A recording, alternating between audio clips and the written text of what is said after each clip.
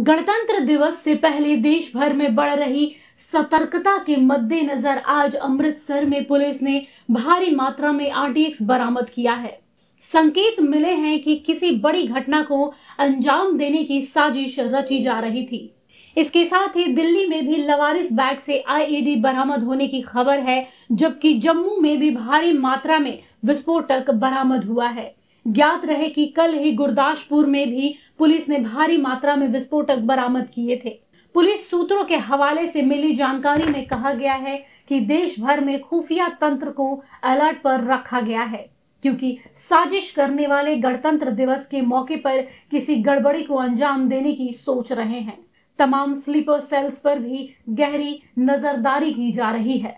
अगर आपको हमारा ये वीडियो अच्छा लगा तो इसे लाइक करें शेयर करें और हाँ सब्सक्राइब करना ना भूलें।